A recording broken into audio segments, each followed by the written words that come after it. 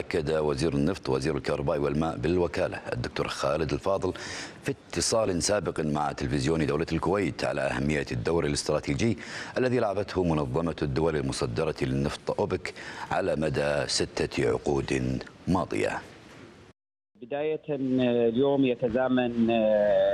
اليوم الموافق 14 سبتمبر 2020 الذكرى. رقم 60 لإنشاء منظمة الدول المصدرة للبترول أوبك. هذه المنظمة اللي كان لها دور كبير جدا في استقرار وضمان ثبات الأسواق النفطية على مدى عقود. تأسست هذه المنظمة انطلاقا من اجتماع بغداد في 14 سبتمبر 1960 بمشاركة الدول الخمس الكويت والمملكة العربية السعودية الجمهورية العراقية جمهورية إيران الإسلامية وفنزويلا.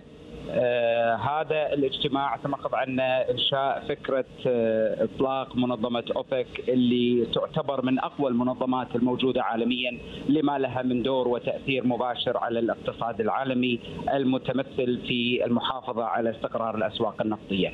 طبعا من الجدير بالذكر بأن هذه المنظمة بالإضافة إلى دورها الواعد والكبير آه كان لها الأمين العام الأخ محمد باركندولي هو الأمين العام الحالي وفي كل لقاء يستذكر الكلمات الحكيمة لسيدي حضرة صاحب السمو الشيخ صباح الأحمد الجابر الصباح لنسأل الله سبحانه وتعالى أن يعيده إلى أرض الوطن سالم مشافى معافى حيث كان له بعض الكلمات الحكيمة اللي أعطاها كنصائح ذهبية للأخ الأمين العام في بداية انطلاق دوره كأمين عام لهذه المنظمة وقام سيدي صاحب السمو بعمل عدة اتصالات لضمان استمرار وجود أصوات الدول المشاركة اللي هي اليوم 13 دولة مشاركة في هذه المنظمة ليكون هناك صوت موحد حيث أن قرارات منظمة أوبك يجب أن تتخذ بالإجماع وليس بالأغلبية.